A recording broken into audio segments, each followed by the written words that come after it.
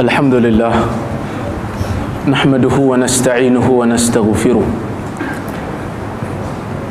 ونعوذ بالله من شرور أنفسنا ومن سيئات أعمالنا. من يهده الله فلا مضل له ومن يضلل فلا هادي له. أشهد أن لا إله إلا الله وحده لا شريك له. واشهد ان محمدا عبده ورسوله اللهم صل وسلم على محمد وعلى اله وصحبه اجمعين اما بعد yang dimuliakan tuan imam muazzin ahli jatan kuasa masjid ustaz-ustaz hadirin hadirat mukminin dan mukminat yang dirahmati Allah Subhanahu wa taala Alhamdulillah. Kita bersyukur kepada Allah Subhanahu wa taala kerana dapat bersama pada malam ini. Dan saya tengok malam ni penuh masjid. Masya-Allah ramai. Walaupun kita ada program yang serentak hari ini tapi Alhamdulillah rakyat Perlis berjaya buktikan walaupun negeri ini kecil tetapi jiwa rakyatnya besar untuk mendengar ilmu daripada daripada ilmuan-ilmuan yang datang walaupun daripada luar Perlis. Saya nak bacakan pada tuan-tuan satu hadis yang diriwayatkan oleh Imam Muslim.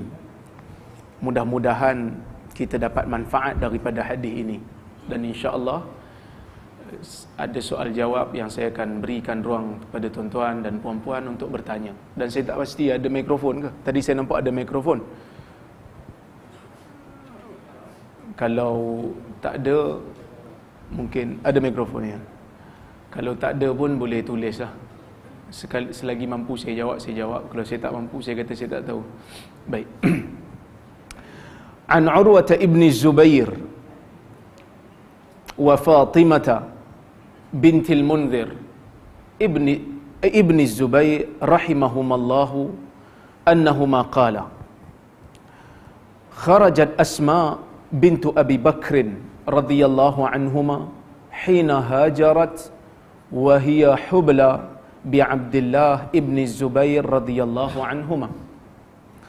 فقدمت قباء فنفست بعبد الله بقباء. ثم خرجت حين نفست إلى رسول الله صلى الله عليه وسلم ليحنكه. فأخذه رسول الله صلى الله عليه وسلم منها فوضعه في حجره. ثم دعا بتمرة.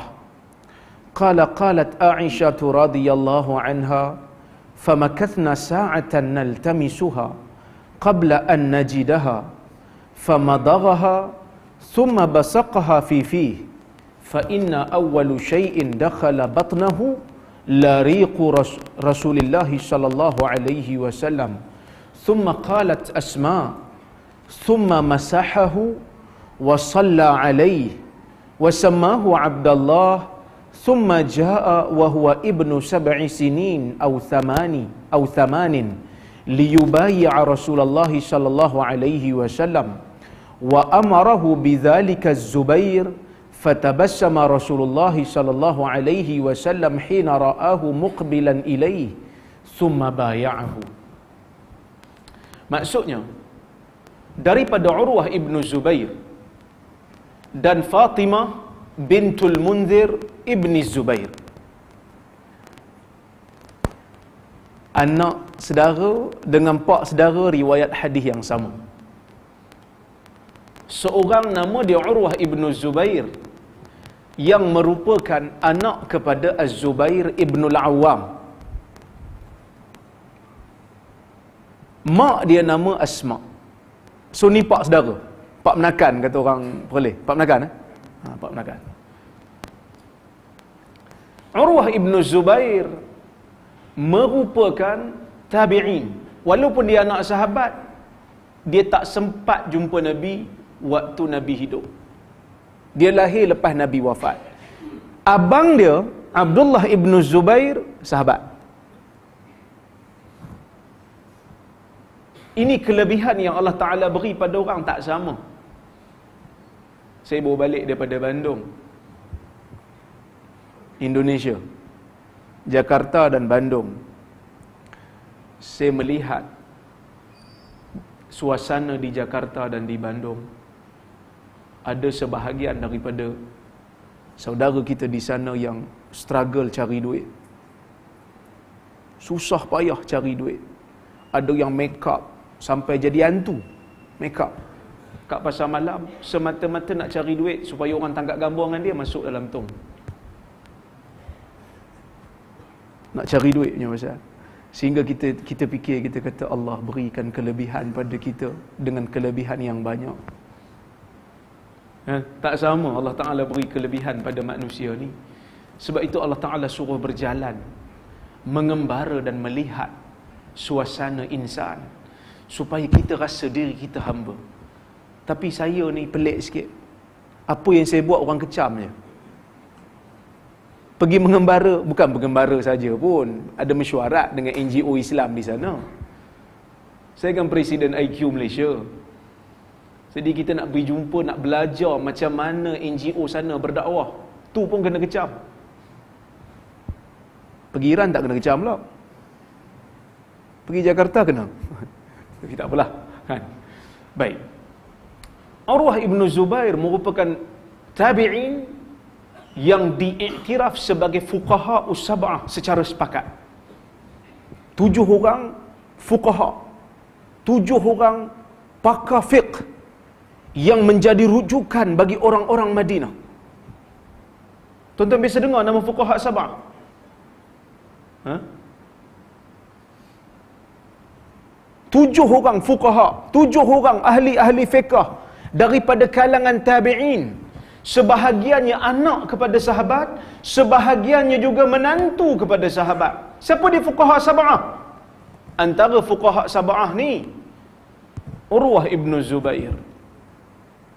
Kharaj, Kharijah ibnu Zaid bin Thabit, anak Zaid bin Thabit. Sa'id ibn al-Musayyib menantu Abu Hurairah Berapa dah? Tiga. Sulaiman ibnu Yasar.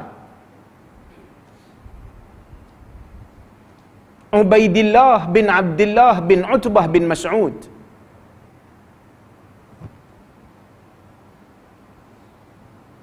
Abu Salamah bin Abdul Rahman bin Auf.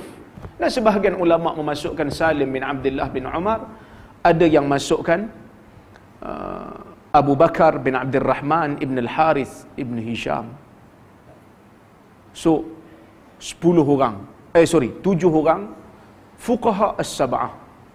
Tuan-tuan kena kenal. Kenapa kena kenal? Kerana dia tokoh juga. Sebab itu, di Perlis, mufti dan AJK fatwa kita mengesyorkan supaya dibaca, dijadikan rujukan fiqhus sunnah. Syed Sabiq untuk dibaca di setiap masjid. Bukan nak suruh orang awam jadi mujtahid dah. Orang yang mengajar belum tentu jadi mujtahid lagi. Tapi paling tidak kita kenal. Tuan-tuan yang masuk PU pun anak-anak kita kenal. Pencetus ummah Anak-anak kita kenal. Takkan fuqaha sab'ah tuan-tuan tak teringin nak kenal.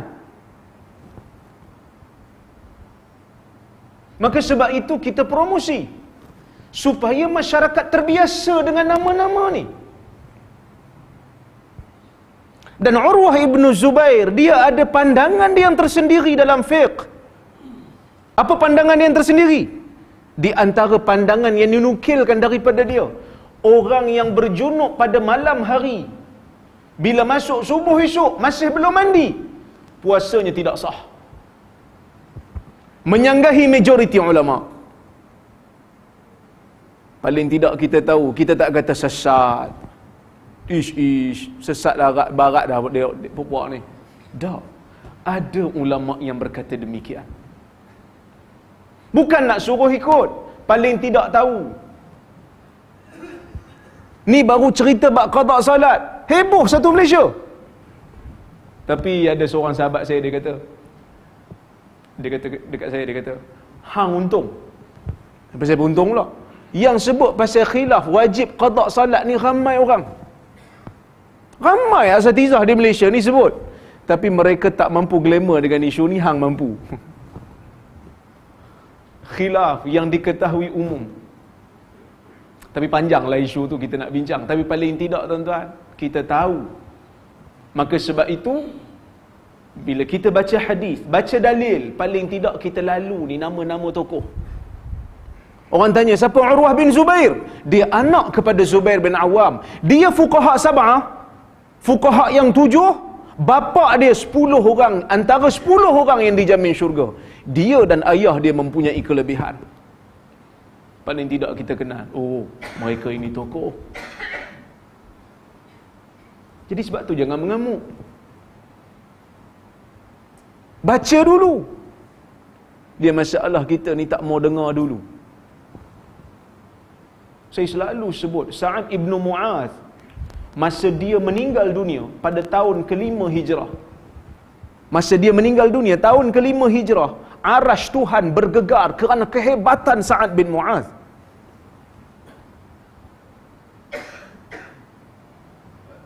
Dia masuk Islam tak lama, lima tahun. Ya. Lima tahun. Apa yang menyebabkan dia masuk Islam?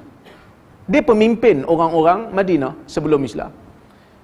Yang menyebabkan dia hebat tu bila dia masuk Islam. Apa sebab dia masuk Islam? Dia dengar Mus'ab sebut tentang dakwah. Mula-mula dia marah kat Mus'ab. Dia kata, kau datang sini pecah belah. Dulu kami elok satu padu. Elok aja dulu satu padu. Hang datang bagi pecah. Itu juga yang disebut dekat Nabi. Itu juga yang disebut kepada Al-Imam Syafi'i. Imam Syafi'i masa datang kat Mesir. Sana Maliki kuat. Tokoh-tokoh besar Maliki dalam tu. Sehingga bila Imam Syafi'i nak datang ke Mesir, sebahagian daripada pengikut mazhab Maliki seronok. Dia ni anak murid besar Imam Malik. Dia akan menguatkan mazhab kita. Tengok-tengok dia buat mazhab baru. Sampai ada tokoh mazhab Maliki yang doa Allahumma amit Syafi'i wa illa la dhahaba ilmu Malik. Ya Allah mati kalau Syafi'i. Kalau tak ilmu Imam Malik akan pergi. Dah ilmu Imam Malik tak pergi.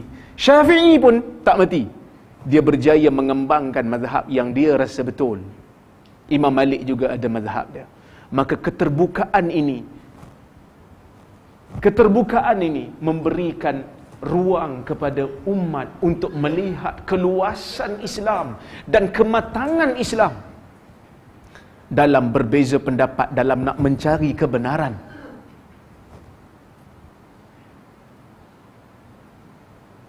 Tadi baru orang telefon saya. Dia call dia kata, Ustaz, sekarang ni tengah viral dekat dekat WhatsApp. Nanti dekat akhirat, siapa yang ikut empat mazhab dapat syafaat, siapa yang tak ikut tak dapat. Tuan-tuan, kita bukan nak mempertikai empat mazhab, ia mazhab yang muktabar. Tapi mazhab ahli sunnah tidak pernah terkurung dalam empat mazhab ni saja. Saya tanya kat dia, dia tanya betul ke Ustaz ada hadis? Saya kata, orang yang hidup sebelum empat mazhab macam mana? Orang yang hidup sebelum empat mazhab tu macam mana? Tak dapat syafaat ke? Betul dia gelak. Betul juga tu. Tu kadang-kadang kita ni bila belajar sains jadi pandai, bila masuk belajar agama jadi tengin kata orang Perak. Nak tahu tengin? Jadi balok, eh, bukan balok, jadi apa? Jadi bodoh kan. Tapi saya tak suka sebut perkataan bodoh tu. Bengong kan. Maksudnya tak boleh fikir.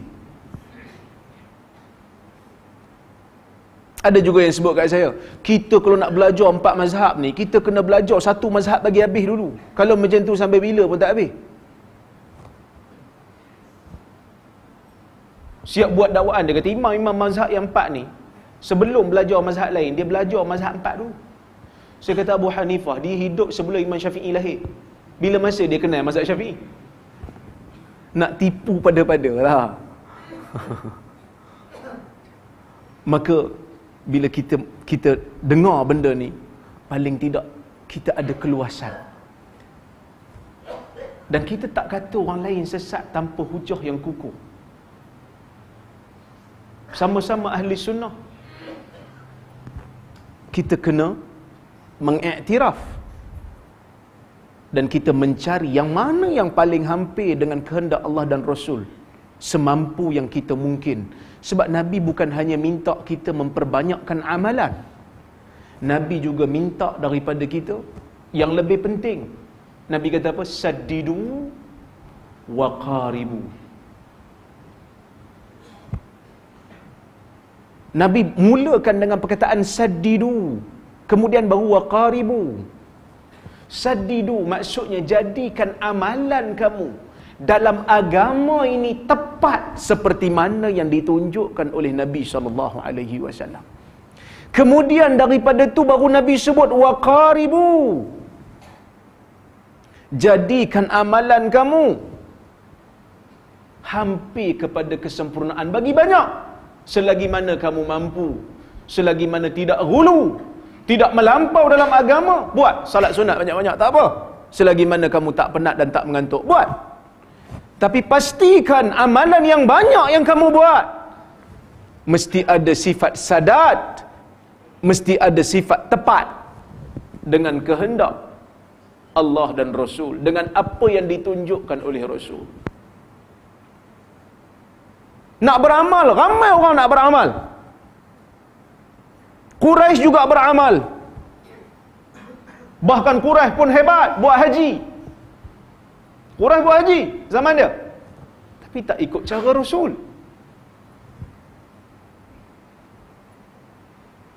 Maka sebab itu dalam bab ibadah kita bukan tanya di mana Nabi larang. Dalam bab ibadah kita tanya mana Nabi tunjuk? Di mana Nabi pernah tunjuk benda ni ada dalam ibadah? Maka sebab tu kalau orang Tuan-tuan, saya nak tanya tuan-tuan.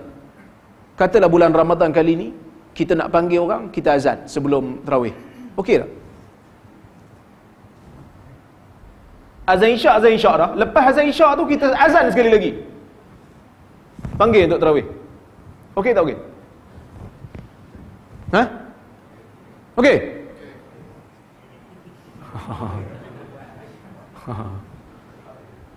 Ulama kata tak okey. Bid'ah. Kenapa bid'ah? Bukan sebab Nabi larang. Sebab Nabi tak tak tunjuk. Sebab Nabi tak tunjuk. Sebahagian fuqaha menyebut bila ambil wudu sebelum basuh kaki sapu tengkuk. Ada sebahagian kita. Saya pun dulu masa kecil-kecil duk belajar agak ustaz suruh buat. Sebahagian ulama menyebut ia bid'ah. Pasal apa bid'ah? Bukan sebab Nabi larang. Sebab Nabi tak tunjuk. Dalam bab ibadah yang ada ritual, yang ada bentuk, yang ada waktu tertentu. Yang masa kita beramal, kita tahu dia adalah ibadah yang khusus terikat dengan waktu. Maka kita perlu mencari dalil yang khusus.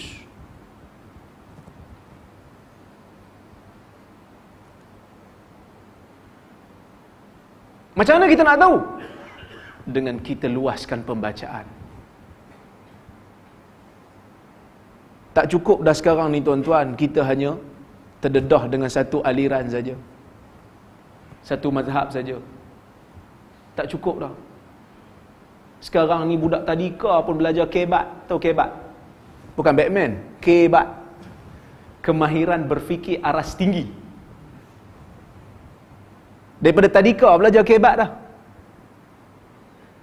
Kita pun tengok, eh, budak jas satu, jas dua dah belajar. Matematik dah belajar pecahan. Kita lu jas empat baru jumpa. Itu dalam bab dunia, takkan dalam bab agama tuan-tuan. Kita masih lagi nak kita masih lagi nak satu aliran. Kata pening ustaz, belajar banyak-banyak. Yang pening tu tuan-tuan seorangnya. Orang lain okey. Dan tak pening pun sebenarnya, dia saja buat-buat pening. Tak pening pun. Cuba relax. Kalau rasa tak apa nak faham, okey, relax dulu. Makan Panadol. Kerana kefahaman tu datang daripada Tuhan, bukan daripada ustaz. Mungkin kali ni Tuhan belum bagi rezeki nak faham. Esok mungkin faham. tapi mau relax. Relax. Okey? Baik. Eh, ni kuliah ni. Baik. Kemudian wa Fatimah bintul Munzir ibni Zubair. Fatimah ni dia boleh kata anak saudara kepada Urwah. Dia isteri kepada Hisham bin Urwah. Tuan tengok. Hisham bin Urwah anak kepada Urwah. Kahwin dengan Fatimah. Fatimah ni isteri Hisham. Jadi Urwah ni pak saudara dan merangkap pak mentua. Pak menakan merangkap pak mentua. Mereka berdua meriwayatkan daripada Nabi sallallahu alaihi daripada mak Urwah iaitu Asma. Dia kata kharajat Asma radhiyallahu anha binti Abi bintu Abi Bakar radhiyallahu anhuma hina hajarat wa hiya hubla bi Abdullah ibni Zubair radhiyallahu anhuma. Dia kata satu hari Asma keluar Asma binti Abi Bakar, kakak kepada Aisyah, isteri kepada Zubair. Dia keluar waktu dia berhijrah dalam keadaan dia mengandung. Mengandungkan Abdullah, abang kepada Urwah. Abang kepada Urwah ni Abdullah, Asma ni mengandung waktu dia hijrah. Dan Asma ni dia, dia cerita juga. Keluarga ni keluarga yang hebat. Bukan keluarga biasa-biasa lah. Maksudnya keluarga ni keluarga tokoh. Pak dia antara 10 orang yang dijamin syurga. Isteri mak dia Asma ada kelebihan. Apa kelebihan Asma?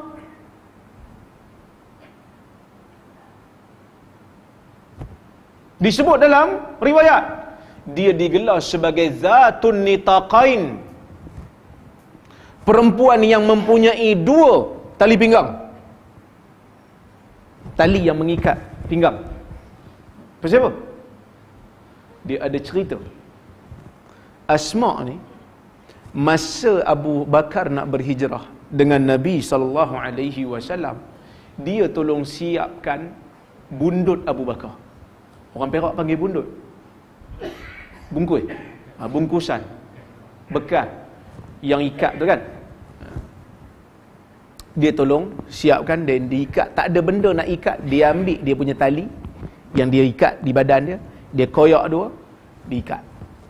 Maka dia digelar sebagai perempuan yang mempunyai tali pinggang. Dua. Zatul nitaqai. Dan asma ni hebat. Waktu Abu Bakar pergi berhijrah Abu Bakar bawa semua duit. Abu Bakar bawa semua duit. Datang Abu Kahafah. Abu Kahafah ni dia buta. Bapa kepada Abu Bakar ayah Abu Bakar tu namanya Abu Kahafah. Osman nama dia. Gelaran dia Abu Kahafah. Dah tua mata pun dah tak nampak. Dia datang rumah. Abu Bakar dia kata aku dengar cerita pak kamu pergi hijrah dengan Muhammad. Masa ni Abu Kahafah belum masuk Islam. Dia masuk lewat. Masa ni belum Islam lagi. Ada tak dia tinggal duit pada kamu? Asma tak tahu sebab tak ada tinggal. Maka dia ambil uncang yang Abu Bakar selalu letak duit dia pergi letak batu. Tu dia kata tok ni banyak ni duit yang ayah tinggal. Ah, tok dia buta kan ni banyak ni yang ayah kami tinggalkan. So dia pegang ui berat. Bagus. Tapi tak tinggal apa tu Asma bintu Abi Bakar. Dia mengandung. Dia keluar berhijrah.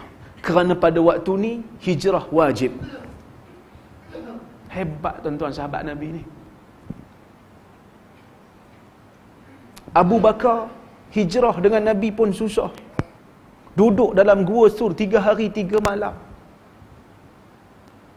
Duduk dalam gua. Gua sur tinggi.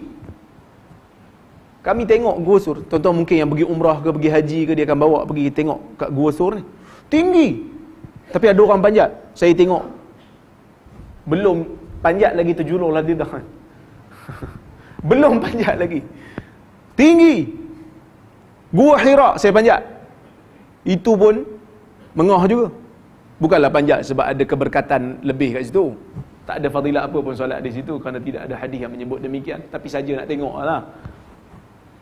Kan? Saja nak tengok tempat Nabi terima wahyu kali pertama. Dari sudut sejarahnya kita nak tengok. Gua sur ada orang panjat. Tinggi. Abu Bakar panjat dengan Nabi dalam riwayat Abu Bakar masuk dulu. Sebelum Nabi masuk gua tu Abu Bakar masuk dulu. Cuma ada riwayat yang disebut oleh Al-Imam Al-Baihaqi dalam kitab dia Dalailun Nubuwah yang mengatakan waktu Nabi waktu Nabi dengan Abu Bakar nak masuk tu Abu Bakar nampak ada batu dia kuih-kuih batu tu sehingga ada ular kan. Ular patuk dia maka dia terkena patuk jadi air mata dia mengalir. Kena kat Nabi. Nabi kata jangan kau sedih kerana Allah bersama dengan kita. Tapi riwayat ni dikritik oleh para ulama. Riwayat yang Abu Bakar kena patuk dengan ular ni dikritik oleh para ulama. Siapa kritik? Az-Zahabi. Dia kata khabar ini mungkar. Siapa kritik? Ibnu Kathir. Dia kata wa fihi gharabah wa nakarah. Pada kisah ini pada hadis ini ada keganjilan dan ada kemungkaran. Maksud kemungkaran ni bukan mungkar maksiat. Kepelikan. Keganjilan dan kepelikan. Maka ulama hadis dua-dua ni Az-Zahabi dan Ibn Kathir tuan-tuan yang risau dia mazhab Syafi'i. Bukan saya yang kata ulama yang kata. Kan kelebihan para sahabat berhijrah dengan Nabi. Ini di antaranya. Ali bin Abi Talib berhijrah dalam keadaan berjalan kaki. Dalam kitab Rahiqul Makhtum Syekh Al-Mubarak Furi menyebut dia bawa satu riwayat. Dia kata Ali bila sampai dekat bila dah sampai dekat kawasan yang berhampiran dengan Madinah Ali ni dia berjalan kaki 400 km daripada Mekah ke Madinah. Muda lagi kaki dia bengkak. Nabi panggil Ali dah sampai belum? Ud'u li aliyan dia kata. Nabi kata. Panggil Ali. Sahabat kata Ali tak boleh bangun. Kaki dia bengkak. Ajaib. Tuan-tuan dia orang hilang dunia hilang negeri hilang keluarga sebab nak ikut Muhammad. Maka sebab itu kita kena tanya diri. Selama aku hidup berapa kali aku tinggalkan dunia kerana nak ikut sunnah? Tanya diri. Orang bagi tahu ni sunnah ada hadis. Kadang-kadang kita nak tinggalkan benda sunnah nak tinggalkan benda yang kita biasa amal kerana benda tu belum tentu sunnah. Dengan benda yang confirm sunnah tu pun kita berbelah bagi. Sahabat tinggal negeri tinggal keluarga tinggal bini tinggal ayah tinggal mak. Tinggal harta benda. Hanya semata-mata nak mengikut seorang lelaki yang menjanjikan sesuatu yang mereka tak nampak iaitu syurga Allah Azza wa Jal. Bengkak kaki Ali bin Abi Talib. Maka sebab tu kita kena tanya diri. Saya kena tanya tuan-tuan kena tanya. Apa yang aku pernah tinggalkan habuan dunia ni semata-mata untuk aku buat satu benda yang namanya sunnah. Confirm yang ni sunnah. Kalau saya amal yang lain saya akan tinggalkan amalan ni. Dan kalau saya tinggalkan amalan ni pun tak rugi pada dunia saya pun. Berapa banyak kita sanggup buat? Paling tidak orang kata sikit-sikit ya. Dan kalau orang kata pun tuan-tuan kita tak jadi apa saya ni macam-macam orang kata tapi Alhamdulillah makan sedap weh Mufti apa orang tak kata? Macam-macam orang fitnah dia. Tapi dia kata Alhamdulillah setakat ni makan. Boleh rasa sedap lagi lah.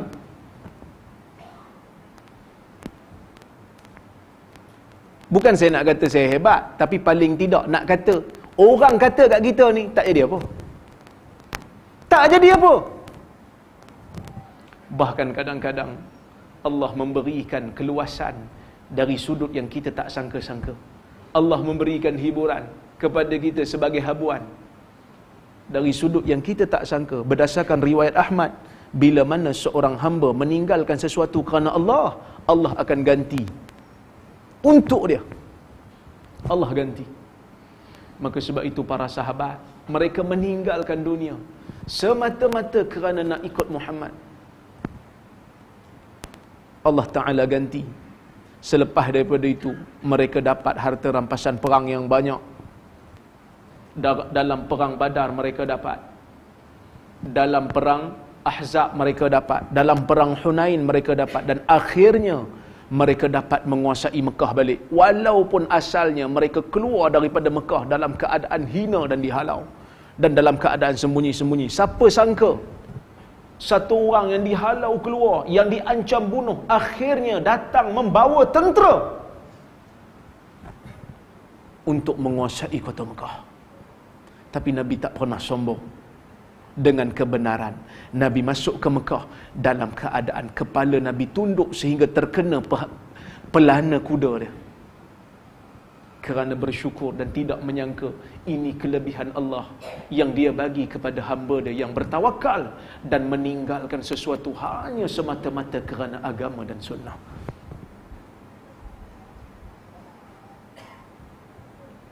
Maka kita kena fikir tuan-tuan. Selama ni aku buat apa? Saya kena fikir. Tuan-tuan juga kena fikir. Sikit sangat pengorbanan kita untuk agama. Bahkan mungkin tak ada. Maka dengan membaca kisah para sahabat, paling tidak kita rasa insaf. Dan paling tidak kita kena rasa sayang kat sahabat yang telah membawa agama pada kita dan kita rasa kita akan pertahankan nama sahabat daripada dicaci maki oleh puak-puak syiah yang melampau. Syiah banyak sekarang kan? Berkembang syiah Melayu. Kita tak suruh bunuh syiah tapi kita kata kita tak setuju dengan perbuatan mengkafirkan para sahabat Nabi sallallahu alaihi wasallam. Ni mengandung mengandung dalam keadaan bunting di akhir-akhir dah kandungan dia dia berhijrah 400 km punya perjalanan bukan naik bas naik bas pun sakit pinggang tanya kakak-kakak belakang makcik-makcik duk tepuk pinggang sakit pinggang naik bas 400 km yang ni bukan naik bas yang ni naik unta naik kuda ajaib para sahabat Nabi sallallahu alaihi wasallam. Kemudian dia kata faqadimat Quba dia sampai di Quba. Asma ni sampai di Quba. Fanufisat bi Abdullah. Maka sampai-sampai kat Quba terus dia melahirkan Abdullah. Dia melahirkan bayi yang dia sedang kandung. Maksudnya waktu ni waktu dah sarat dah. Tuan-tuan cuba bayang kalau dalam perjalanan tu, mujur-mujur sampai dah. Kalau dalam perjalanan tu bersalin macam mana? Kita isteri di akhir-akhir kandungan kita tak bagi berjalan dah. Ni pengorbanan sahabat ni. Bila sampai di Quba, dia pun melahirkan kandungan dia. Dia lahirkan anak dia. Summa kharajat hina nufisat ila Rasulul ila Rasulillah sallallahu alaihi wasallam liyuhannikahu.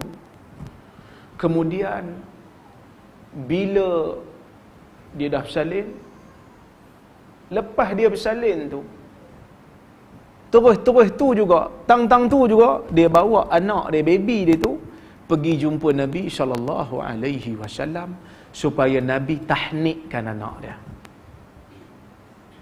supaya Nabi tahnikkan anak dia apa maksud tahnik Tahnik ni maksudnya memasukkan sesuatu makanan yang manis ke dalam mulut bayi yang baru lahir.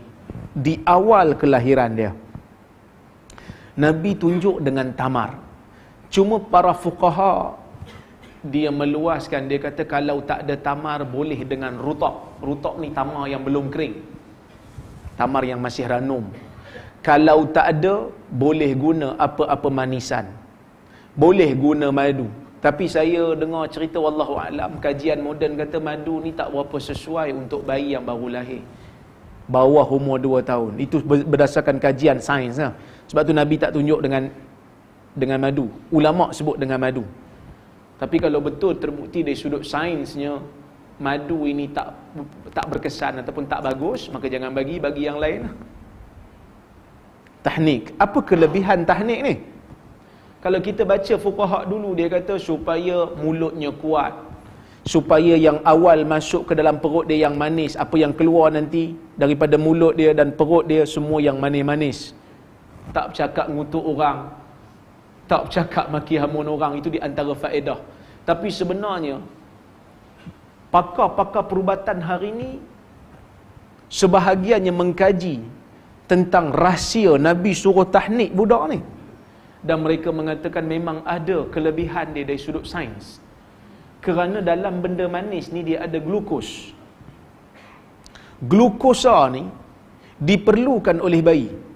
Yang mana bayi yang baru lahir ni dia punya berat badan dia ringan 2.4 kilo, 2.5 kilo, tak lebih 3 kilo lah biasanya. Kalau ada pun 3.2 kilo. Jarang sangat lahir-lahir 10 kilo. Kan? Jadi dia tak cukup glukos. Bila tak cukup glukos dia boleh jadi tashannuj tashannuj ni maksudnya tarik sawan. Maka bila kita bagi glukos kat dia dia tambah tenaga dia ada tenaga untuk isap susu mak dia tu di antara mukjizat saintifik yang ada dalam dalam pensyariatan tahnik tapi bila kita sebut tahnik saya tahu tuan-tuan biasa dengar tahnik tapi ada sebahagian kita yang tak kadang-kadang tak pernah dengar. Ha? Tahnik. Apa tu? Saya ada ziarah satu orang. Hamba Allah. Dia dapat bayi. Dah sebulan kot. Kan? Saya kata dah tahnik belum? Tahnik tu apa? Saya kata tahnik ni masukkan tamar sikit. Kita kunyah, kita masukkan sikit.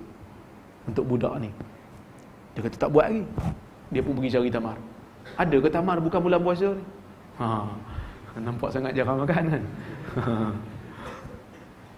Lah kalau dia cari. Lama juga Allah saya tunggu kan. Saya bagi. Dia suruh saya buat lah. Ha. Baik.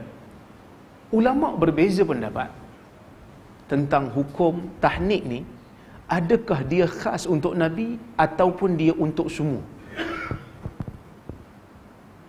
Ulama beza pendapat.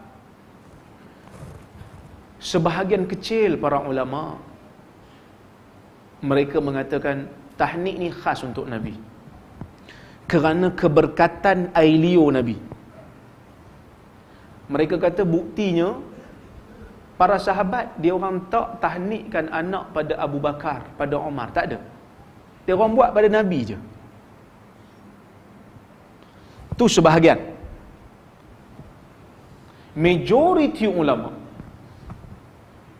termasuk yang empat mazhab majoriti ulama mereka kata tak tahnik ni untuk semua.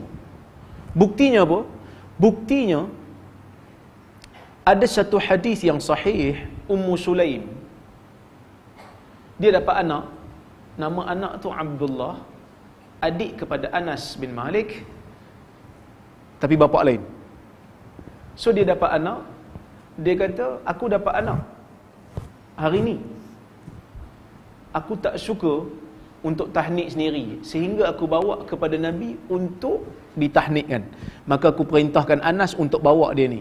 Anas pun ambil beberapa biji tamar ajwah dan Anas bagi dekat Nabi dan Nabi tahnikkan budak ni lepas tu Nabi kata orang Ansar ni memang suka tamar hubbul Ansar at-tamar kecintaan orang Ansar adalah tamar.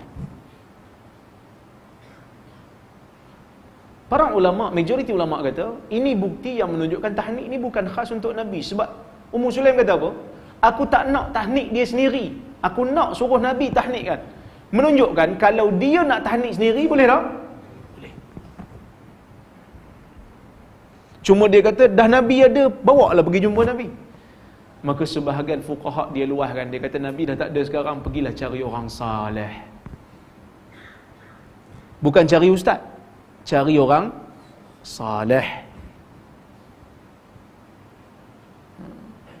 Kadang-kadang dia bukan ustaz tapi dia saleh. Maka suruh dia tahnik. Okey. Maka dia pun bawa jumpa nabi hari pertama kelahiran tu dia bawa jumpa nabi Maka Nabi pun ambil budak tu. Letakkan di atas riba. Summa da'a bi tamrah. Nabi ambil sebiji tamar. Nabi minta sebiji tamar. Nabi kata macam tamar. Aisyah kata. Aisyah isteri Nabi kan. Adik kepada Asma. Aisyah kata, "Famakathna sa'atan naltamisuha qabla an najidaha." Bila Nabi minta tamar, kami punya cari tamar. Menunjukkan rumah Nabi ni tak mewah mana lah. Kami duduk seketika mencari tamar. Cari, cari, cari, jumpa. Nabi pun famadaghaha. Nabi pun kunyah tamar. Summa basaqaha fi fi. Kemudian Nabi luahkan tamar tu Nabi masukkan, luahkan tamar tu masukkan dalam dalam mulut budak. Fakana awwalu shay'in yadkhulu batnahu lariqu Rasulillah sallallahu alaihi wasallam. Dan perkara pertama yang masuk ke dalam perut dia adalah air liur Nabi sallallahu alaihi wasallam. Air liur Nabi sallallahu alaihi wasallam. Maka para ulama kata eloknya tahnik ni sebelum budak tu minum apa-apa susu. Awal-awal kita bagi dia tahnik dulu. Azan dulu di telinga kanan. Kerana ada hadis riwayat Tirmizi yang dinilai sahih oleh al-Imam Tirmizi adapun iqamah di telinga kiri hadisnya tidak sahih hadisnya tidak sahih tetapi tidak menjadi masalah kalau nak amal. Sebahagian ulama memasukkannya dalam fadailul amal tapi kalau orang tak amal tidak menjadi masalah. Kerana hadis Ummu Subyan eh, itu pada sebahagian para muhaddisin tidak sahih kemudian kita tahnikkan dia kita jampi dia siap-siap. Apa jampinya? Eh, tuan-tuan dapat anak kan? Lupa Ustaz, dulu jampi. Tapi sekarang doa tu dah lupa sebab tak pakai dah. Kan? U'izukuma bikalima bikalimatillahi tamma min syaitanin wa hamma wa min kulli ainin lamma. Ini doa Nabi. Waktu Nabi U'izukuma ni kalau dua orang lah. Tapi kalau dia budak lelaki U'izuka. Kalau budak perempuan U'izuki. Maksudnya aku ber, aku meminta perlindungan daripada Allah untuk kamu. Dengan kalimah Allah yang sempurna daripada syaitan dan daripada bahaya mudarat dan daripada ain daripada mata kan kita kata kena mata kena mata tu mata tu memang ada al-ainu haqq Baik. Ini sunnah banyak lagi lah bagi nama pada hari pertama ataupun pada hari ketujuh. Bagi hari bagi nama pada hari pertama boleh? Ada hadis Nabi pernah namakan anak Abu Musa al-Ash'ari dengan Ibrahim pada hari pertama. Nabi namakan budak ni juga dengan nama Abdullah pada hari pertama ataupun pada hari ketujuh. Sebab sekarang ni nama tu dia panjang sikit. Jadi dia nak kena fikir. Seeloknya sunnah pada hari yang ketujuh atau yang pertama. Ha. Kadang-kadang kena mesyuarat dulu nak tentukan nama anak. Nama punya panjang kan. Baik, kemudian diakikahkan pada hari ketujuh dan selepasnya. Okey? Baik. Kemudian kata Asma, "Summa qalat Asma" Nabi SAW summa masahahu. Lepas Nabi tahnikkan budak ni, Nabi pun usap budak ni. Sentuh budak ni. Ni pun sebenarnya ada unsur saintifik. Tuan-tuan pernah tengok iklan Johnson Johnson? Yang minyak bayi tu kan dia kata urutan pada bayi merangsang bayi tu kan. So Nabi tunjuk dah dalam hadis disebut Nabi masah. Nabi sentuh budak tu, Nabi usap budak tu. Kerana sentuhan tu memberikan emosi yang baik untuk budak tu. Tak tunggu Johnson Johnson sebut. Tapi mujur Johnson Johnson ni dia syarikat orang putih. Kalau syarikat Melayu, minyak sunnah. Ha. Sekarang ni pakat nama, guna nama sunnah. Aiskrim sunnah. Aiskrim mana ada zaman Nabi? Dia kata, iyalah Ustaz. Sebab kami guna campur tamar, campur delima, campur madu, campur tin. Iyalah buah-buah tu bermanfaat lah Tapi buat aiskrim tu tak Sebab hang bagi nama aiskrim sunnah Ha, tu beza. Ada beza antara aiskrim dengan tamar. Budak-budak tahu beza. Aiskrim tamar dengan buah tamar. Ada beza tak? Ada beza. Kemudian masah masahu wasalla alaih Nabi doakan untuk dia. Apa Nabi doakan untuk dia?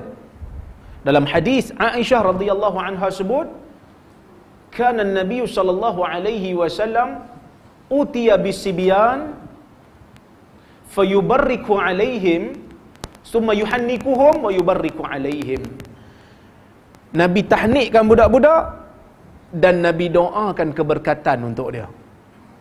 Macam mana doa keberkatan? Allahumma barik lahu. Ya Allah berkatilah dia. Ataupun Allahumma barik lahu wa barik alaih. Ya Allah berikanlah dia keberkatan dalam hidup dia. Jadikanlah hidup dia berkat. Dah. Cukup. Habis. Kadang-kadang orang datang kat saya bawa anak. Dia suruh tahnik. Saya bukan orang solat. Banyak kelebih, kelemahan yang orang tak tahu. Tapi dia orang datang bawa jauh-jauh ni kita kesian lah juga kan. So kita pun tahnik. Tu kita pegang, usap-usap sikit kepala dia, usap-usap sikit badan dia. Kemudian kita kata, Allahumma barik lahu wa barik alaih. Tu kita bagi mak. Kat ayah dia. Dah tak? Dah. Ayah kejap kan? Nasi minyak kambing tu ada kat belakang tu. Ni bukan sikit-sikit ni. Kalau boleh mau doa panjang-panjang. Dah. Dalam hadis tak disebut panjang.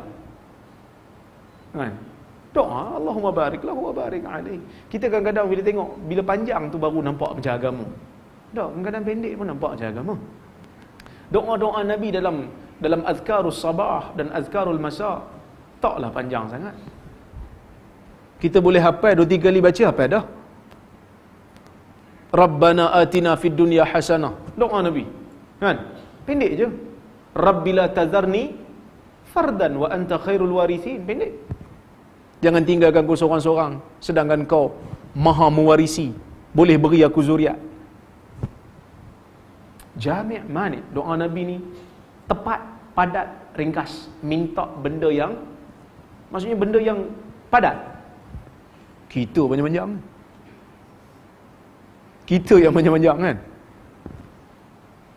Ingatkan boleh makan lah. Alhamdulillah Rabbil Alamin. Orang pun nak cakap ayam. Al-Fatihah. Ada Syed A, Syed B. Dia macam keset. Syed A, Syed B.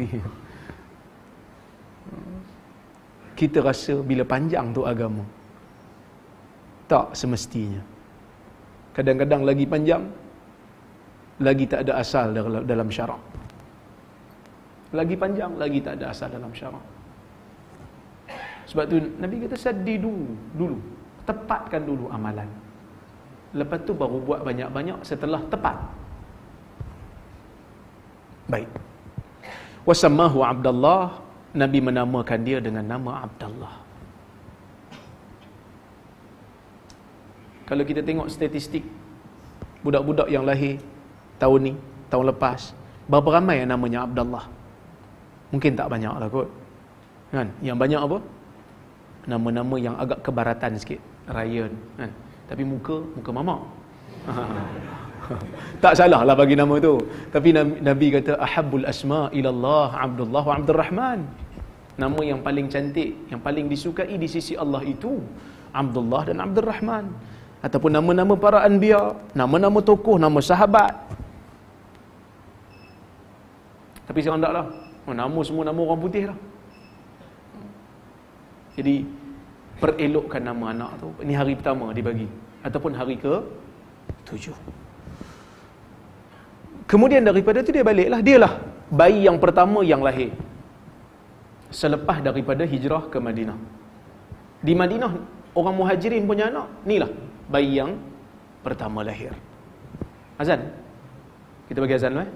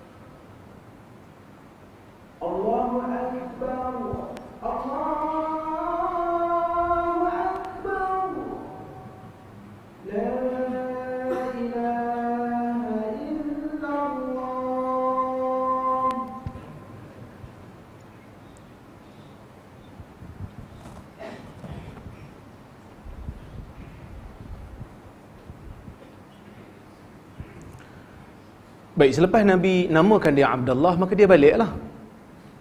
Kemudian kata Urwah, dia kata, "Summa jaa wa huwa ibnu sab'i sinin aw thamanin." Kemudian dia datang semula pada umurnya tujuh tahun ataupun lapan tahun liyubayya Rasulullah sallallahu alaihi wasallam untuk dia berbaiat dengan Rasulullah sallallahu alaihi wasallam. Baiat apa ni? Nabi sampai dekat Madinah Nabi menjadi khalifah dan khalifah itu perlu dibayar. Khalifah itu perlu dibayar. Walaupun dah lama tapi dia baru lahir kan. Maka ayah dia bawa dia pada umur tujuh tahun dan lapan tahun ayah dia bawa dia jumpa Nabi untuk berbayar. Maka dia kata apa? Wa amarahu bidzalika Zubair. Kata adik dia yang perintahkan dia untuk bayar pada Rasulullah ni Zubair. Bapak dia. Fatabassama Rasulullah sallallahu alaihi wasallam hina ra'ahu muqbilan ilaih. Maka Nabi pun senyum melihat dia datang kepada Nabi untuk berbaiat. Nabi terima baiat dia. Ini menunjukkan para sahabat bila dia didik anak, dididik anak supaya anak tu walaupun kecil tapi fikir tentang benda yang besar. Sebab itu kita tengok Abdullah ibnu Umar umur belasan tahun 14 tahun. Dah tawar diri untuk turun jihad dalam perang badar. Sehingga dia ditolak. Tak boleh terima. Nabi tak terima dia. Begitu juga yang berlaku kepada Abu Sa'id Al-Khudri. Muda-muda tawar diri untuk perang. Ibnu Umar tawar diri untuk perang. Pada mula jadi tolak sehingga umur 15 tahun baru Nabi terima Cuba kita banding budak 15 tahun di zaman kita. Duk main game ni. Duk ha? Duk main game lagi. Duk main apa tu? COC, Dota. Anak-anak sahabat umur 8 tahun, 7 tahun fikir tentang urusan negara. So, Faham? Urwah, Urwah yang perawi hadis ni pun, dia masa dia kecil, dia pernah fikir nak terlibat dalam perang. Ayah dia dalam perang Jamal, ke ayah dia terlibat, Zubair terlibat dalam perang Jamal. Tapi tak pergi. Dia tak diizinkan untuk pergi. Tapi lepas tu bila dah besar sikit, dia tak terlibat dengan perang mana-mana pun. Sebab dia kata ini fitnah di antara sahabat. Ha, kan? Maka kita, kita kena tengok balik macam mana kita didik anak kita? Macam mana golongan sahabat ni boleh jadi hebat? Kerana umur 7 tahun 8 tahun dah difikir dah disuruh untuk berfikir tentang bai'ah kan? Kita kadang lepas habis universiti pun tak ada apa-apa nak buat apa ni? Tak fikir masa depan Islam. Ha, fikir masa depan Islam lah. Masa depan saya pun saya tak sebab fikir. Ha, dia kata gitulah kan Wallahu subhanahu wa ta'ala a'lam. Inilah hadisnya dan mudah-mudahan kita ada uh, mendapat manfaat daripada dia.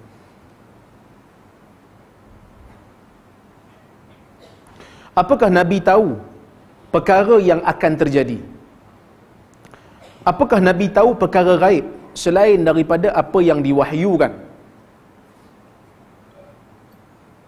Tuan-tuan, Nabi tahu tak benda gaib?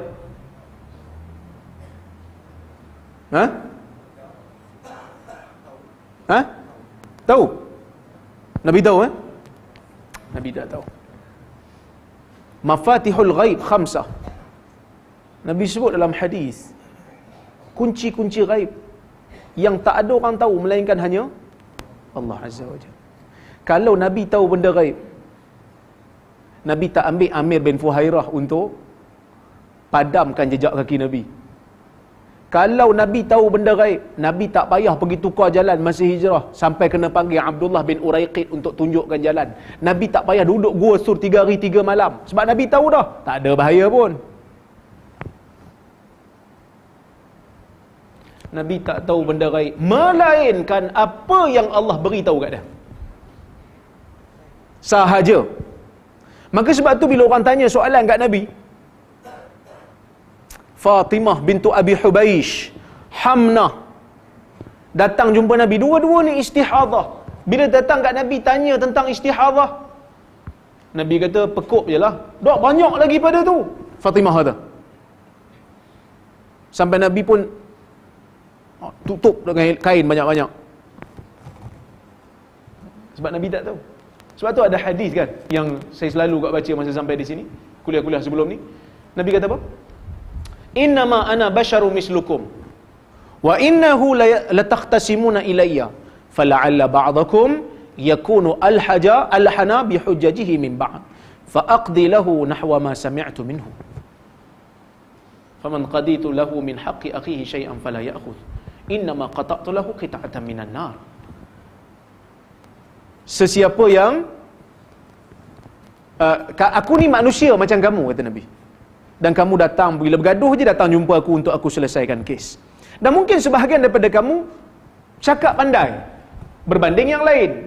Maka aku pun mendengar dan aku berikan dia kes tu menang kat dia. Sebab dia pandai berhujah. Tapi kena ingat siapa yang aku berikan pada dia hak saudaranya maka jangan ambil kerana aku potong untuk aku telah potong untuk dia sepotong api neraka. Bila orang bergaduh depan Nabi Nabi tak tahu mana betul mana salah kalau benda tu melibatkan benda gaib Nabi hanya dengar hujah depan-depan. Dan Nabi buat keputusan berdasarkan hujah yang dibentang depan dia. Nabi kata siapa yang aku bagi kes tu menang kat dia sedangkan itu bukan hak dia. Maka jangan ambil. Kerana tu api neraka aku bagi. Aku tak salah sebab aku tak tahu. Tapi Nabi tahu sebahagian. Itu pun Allah bagi tahu macam nama-nama orang munafik. Nabi tahu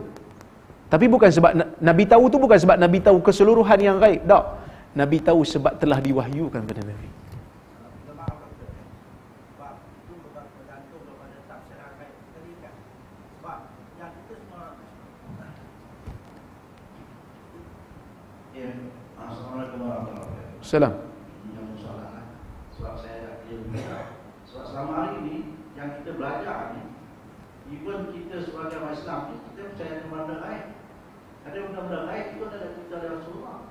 Allah adalah benda yang gaib. Malaikat adalah benda yang gaib.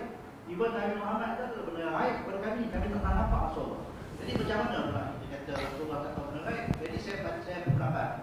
Jawapan yang kata secara umum Rasulullah tahu benda gaib yang begitu. Itu sebetulnya bukan tolong jawab kata Rasulullah tak tahu benda gaib. Dengar dulu. Dengar dulu apa kata Quran. Yalah itulah sebab itu saya nak minta penjelasan. Ya ya, dengar Quran eh. Nak dengar Quran eh? Ya, Baik walau kuntu a'lamul ghaib lastakthu lastakthartu minal khair wama massani yasu Nabi kata dalam Quran ni dalam ayat Quran Allah Taala kata kalaulah aku tahu yakni Nabi ayat ni refer pada Nabi kalaulah aku tahu benda gaib sudah tentu aku akan memperbanyakkan kebaikan dan aku tidak akan kena apa-apa keburukan. Asalnya Nabi tak tahu benda gaib melainkan apa yang Allah Taala bagi tahu kat dia. Tu asal maka sifat Allah. Kita tahu tak tahu? Tahu sebab Nabi bagi tahu. Sebab apa Nabi tahu? Bukan sebab asalnya Nabi tahu. Sebab Nabi terima wahyu. Tapi ada tak nama-nama Allah yang Nabi sebut dia tak tahu? Ada. Dalam doa Nabi Nabi sebut ada sifat nama-nama Allah yang istaksarta bi'ilmik hanya Allah saja yang tahu. Nabi tak tahu Maka apa yang Nabi ajar kita dari sudut benda yang gaib itu apa yang Allah beritahu kat dia. Apa yang Allah tak bagi tahu dia tak tahu. Okey?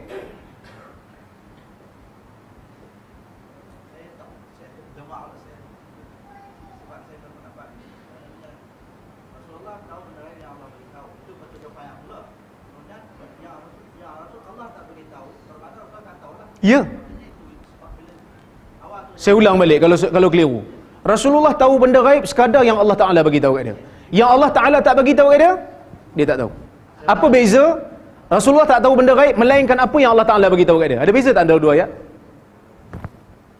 Rasulullah tahu benda gaib sekadar yang Allah Taala bagi tahu kat dia. Ni ayat pertama. Yang Allah Taala tak bagi tahu kat dia dia tak tahu. Ni ayat pertama. Ayat kedua, Rasulullah tidak mengetahui benda gaib melainkan apa yang Allah bagi tahu kat dia. Sama ke tak dua ayat ni? Sama.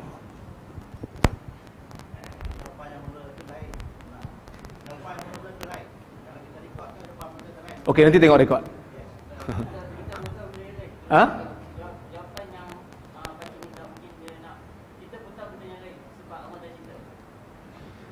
Kita tahu benda gaib yang diberitahu oleh Allah dalam Quran dan Rasul dalam hadis. Benda gaib ni apa? Apa yang berlaku esok? Tak tahulah. Maksud kita tak tahu gaib lah. Melainkan tak tuan-tuan, benda gaib ni bukan bukan sikit. Benda gaib ni banyak. Yang Tuhan bagi tahu kat kita banyak ke sikit? Nak dibandingkan dengan yang kita tak tahu? Sikit. sebab apa doktor begini kan. Bila jawapan pertama tu saya rasa keliru sebab kita selama ini belajar tentang semua benda lain. Tak okey, sekarang ni keliru tak? Jadi bila jawapan tu berubah maka saya tolak. Tak, asalnya macam mana? Asal jawapan yang direkod salah. Ja- Jawapan tu macam mana? Yang yang tuan faham? Sebab awal-awal tu doktor saya kata Rasulullah tak tahu benda lain. Maksudnya doktor saya kata Rasulullah tahu benda lain sebab sebagaimana yang Allah dalam kitab bagi tahu kita dia tahu benda lain. Itu sepatutnya itu jawapan. Kalau Tak saya- apalah. Kalau saya saya. Ha, mujuk saya tak jadi student tuan. orang lain jadi student, guru saya tak apalah. Lah. Tapi kalau iyalah, tapi orang lain okey je kan? Okey. Orang lain okey maksudnya guru yang lain pun guru juga. orang lain pun saya pun banyak guru juga. Alhamdulillah saya tak pernah fail lah dengan guru-guru lain. Dengan dengan tuan je. Mujur saya tak belajar dengan tuan lah. Ada lain? Assalamualaikum. Assalam. Um, saya ada dua soalan kepada. Um, soalan yang pertama uh, di dalam kitab uh, Imam uh, Hujjatul Islam Imam Al-Ghazali kitab Al-Mustafa di mana Imam Al-Ghazali menerangkan tentang wajibnya seorang orang awam itu taklid pada mazhab.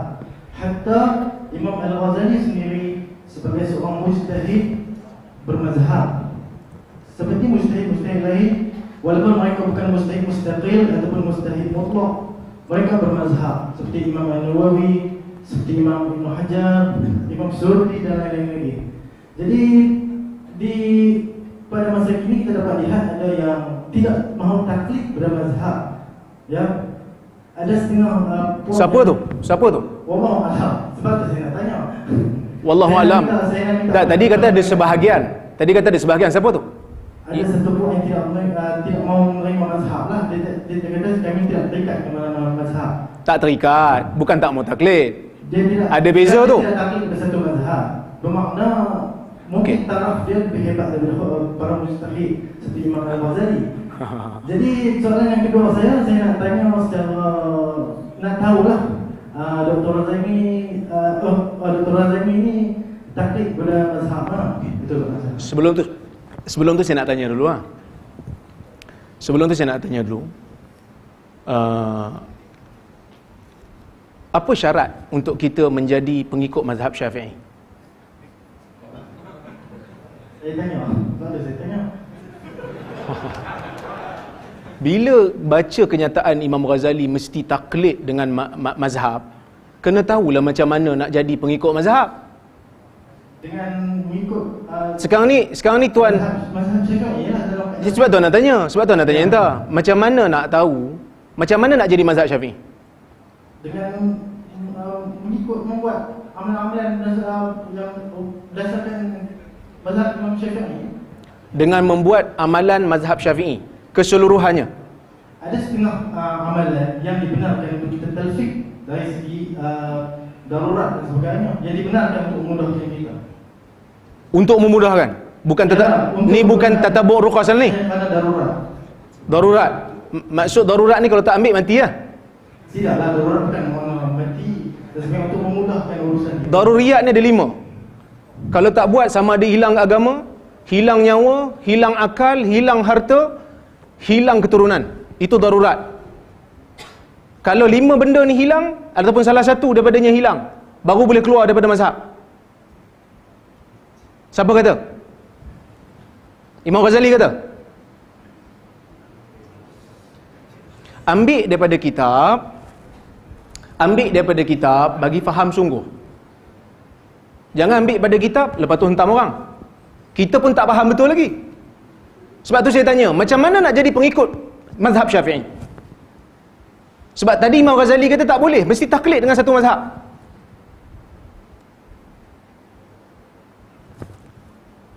Mesti tahu usul mazhab Syafi'i. Mesti tahu fatwa-fatwa Imam Syafi'i.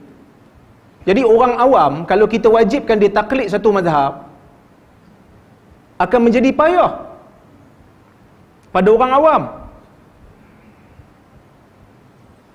Dan siapa yang berani kata saya adalah mazhab Syafi'i sedangkan kitab Syafi'i satu pun dia tak pernah khatam?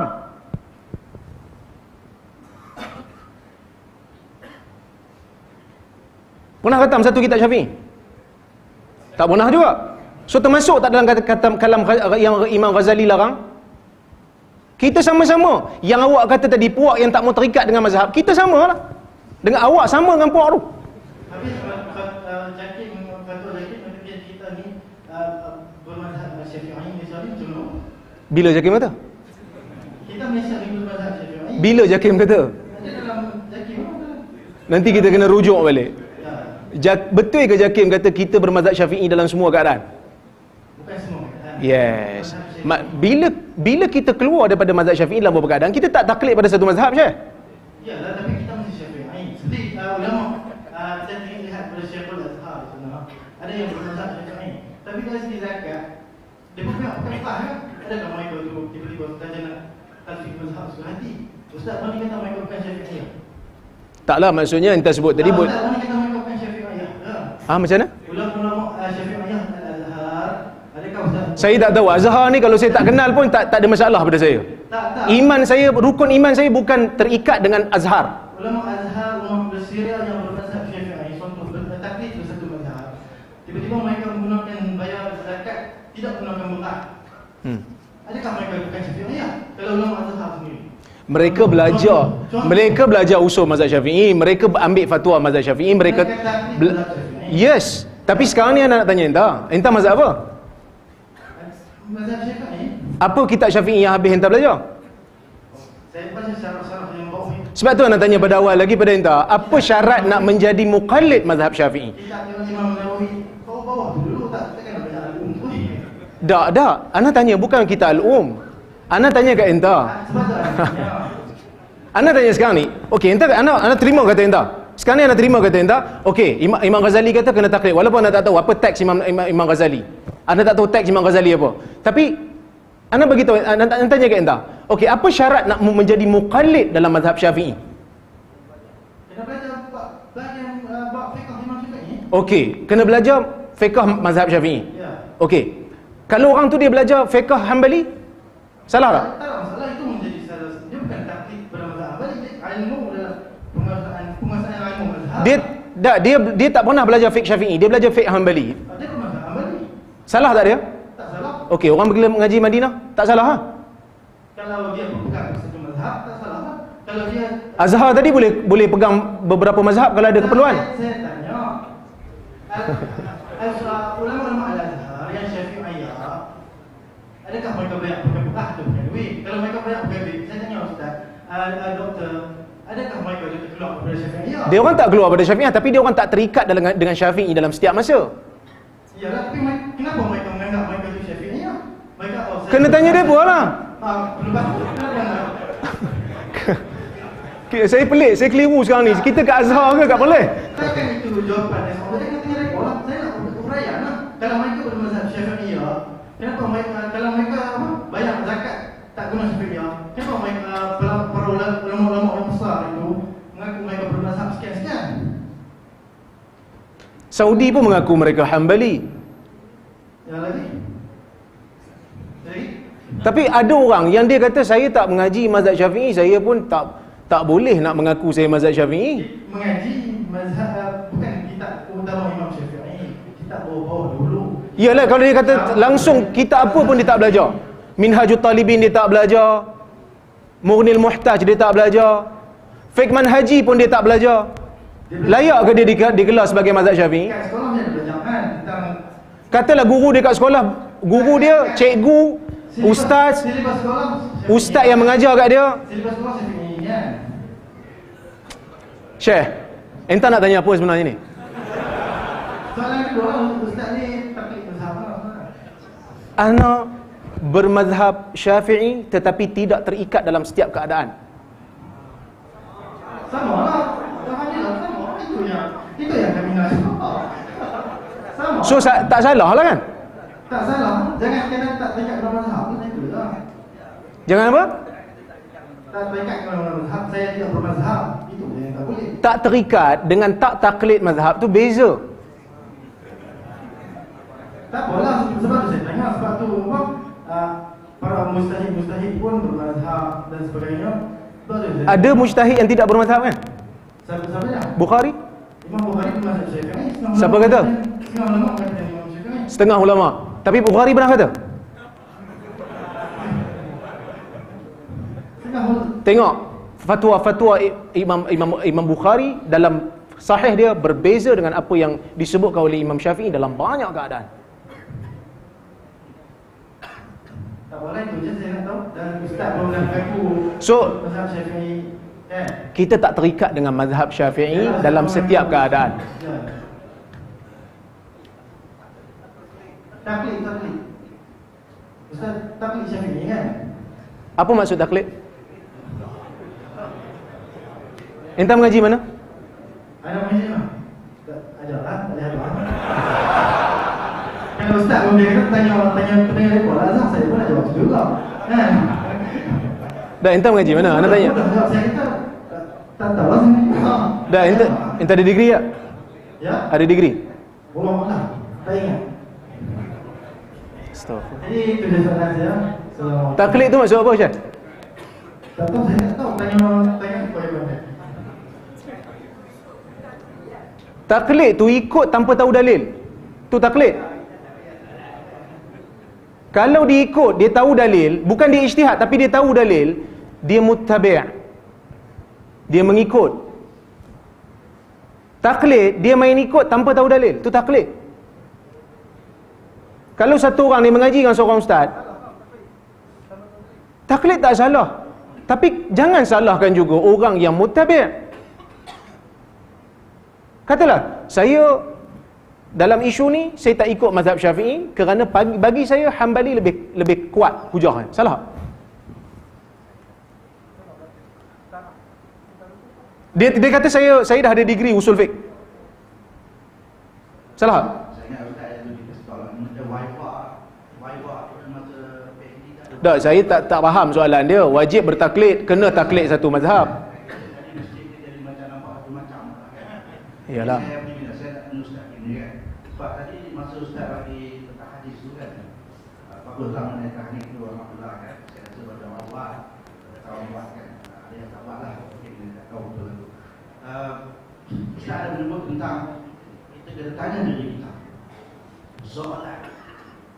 Berapa kali kita kamu Satu tinggalkan dunia dan ikut sunnah Itu Ustaz sebut tu kan? Jadi saya memang selalu bertanya lah Datang ke masjid. Masjid ini katanya rumah Allah. Betul Ustaz? Sebab saya takut kena sebut tahu kata tidak Mana ada Allah dalam masjid. Tapi yang saya tahu Baitullah. Kaabah itu sebut Baitullah. Baitullah itu mudah masuk rumah Allah Saya tak pernah Arab Minta maaf lah Sebab saya sekolah Kamu tidak Lagi bedak Kamu sambung Okey. Jadi Inilah Sebab kita rasa memang masing-masing Kita nak ikut Jalan Rasulullah lah. Kita tahu kan? So di antara ni kan? Uh, dari segi berpakaian kita main masjid kan? Kita dalam masjid rumah Allah kan? Di antara pakai kayak dengan pakai songkok pada lebih senang. Saya juga yang kedua Ustaz pakai jubah pada saya. Ni dengan pakai blazer Ustaz mana lebih senang? Saja sebab supaya saya Ustaz sekarang ni dipanggil mentor dalam masjid kita nampak Ustaz? Ada kawan ikut Ustaz ikut saya. Saya pakai kayak saya pakai jubah. Itu jawapan saya nak tanya. Lah bila saya pergi Mekah pergi Madinah Saya tengok imam-imam tu dia bagi kaya dan tak sebab ke kepada. Tapi tak ada. Itu yang saya nampak. Jadi kita tak boleh. Itu saya. Supaya saya jelas. Inilah sah. Ha, tak apa. Tak apa saya kira orang kata saya lari pada soalan pula. Okey, saya nak jawab lah yang tu. Terima kasih. Saya menjangkakan soalan tu macam soalan penting lah. Tapi rupanya songkok saya dipertikaikan. Dia gini. Sunnah ini yang saya maksudkan tadi tu dituntut. Kerana konotasinya hijrah itu dituntut. Sunnah ini ada sunnah yang dituntut. Ada sunnah yang Nabi buat sebagai dia tu manusia. Nabi bila makan kambing, dia suka makan belah betih. Adakah makan belah betih lebih sunnah daripada makan belah belakang? Tak. Kalau macam tu betih hilang dulu. Saya perlukan satu hadis yang Nabi galakkan kita pakai kepiah. Kalau nak kata lebih sunnah pakai kepiah. Pakai ketayap.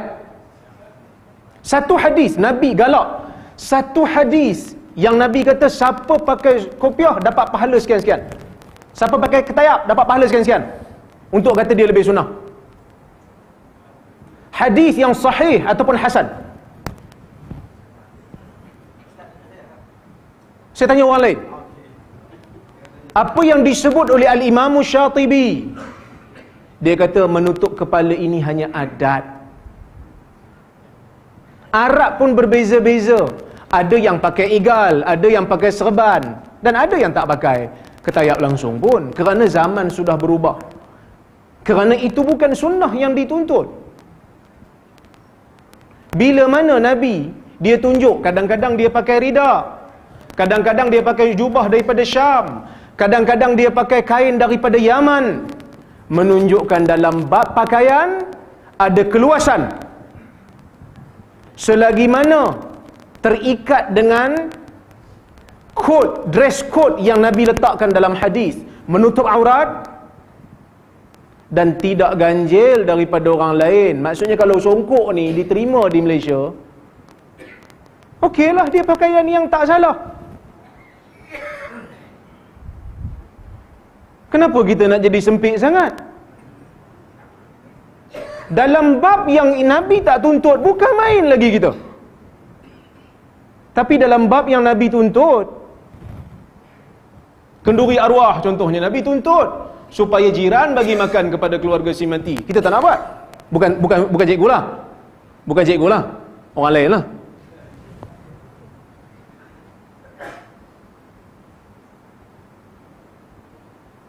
Tak. Pakai jubah tidak lagi sunnah daripada pakai baju Melayu. Dan pakai baju Melayu tidak lebih sunnah daripada pakai kemeja. Inilah keluasan Islam.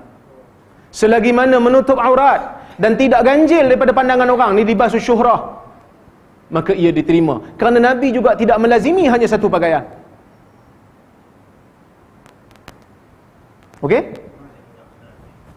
bukan marah ni marah okey saya suka sebenarnya bila kita berdialog berdiskusi cuma nampak macam panas sikit sebenarnya dah lepas ni kalau jumpa kita senyum-senyum ajalah kan Ha, kita senyum, kita beza pendapat dalam satu isu, banyak benda yang kita sama.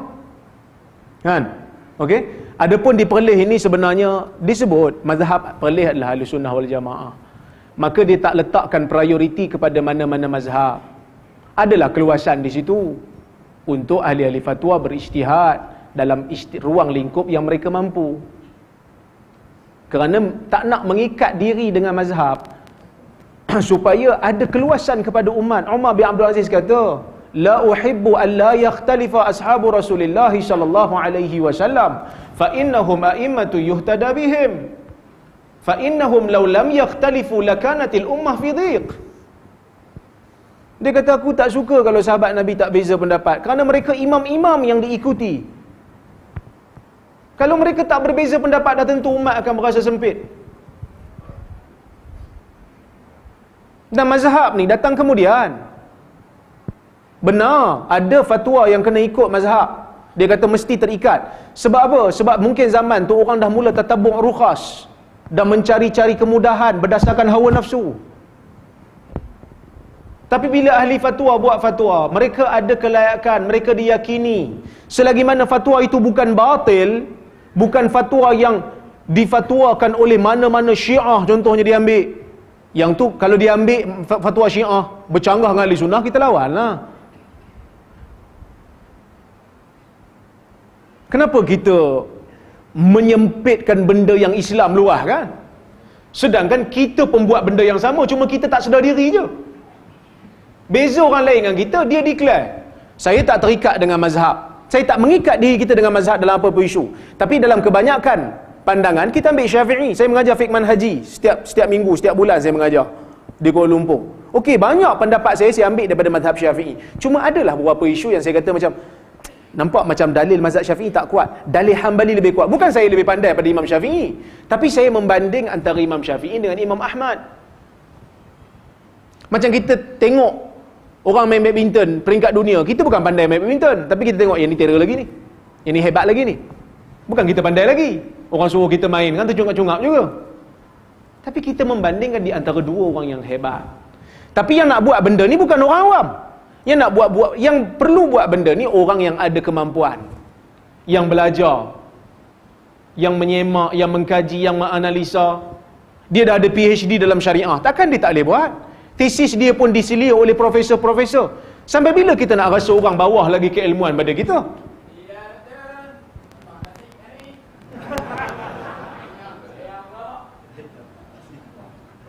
Okey?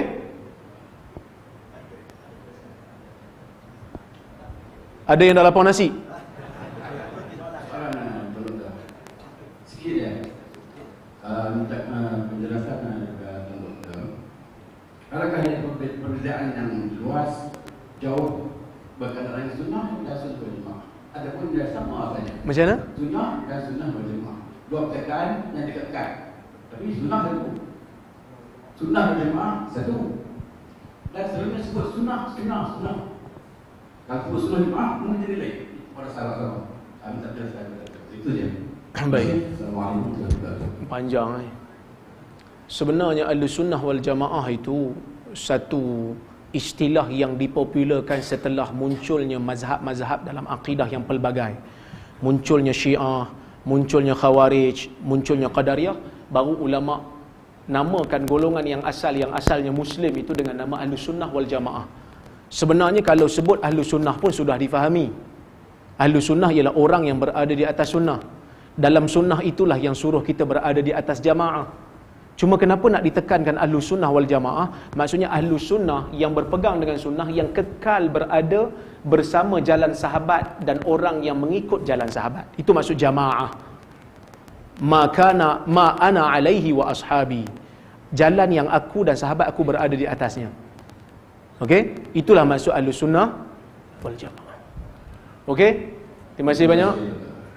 Terima kasih banyak. Saya minta maaf kalau saya terkasar bahasa tersilap kata. Saya pun minta maaf kerana ambil masa yang lama. Terima kasih banyak atas jemputan. Saya doakan supaya kita semua menjadi orang yang sentiasa mencari yang dekat dengan apa yang Nabi sallallahu alaihi wasallam inginkan daripada kita. Aqulu qawli hadha wa astaghfirullahal azim li wa lakum. Wassalamu alaikum warahmatullahi wabarakatuh.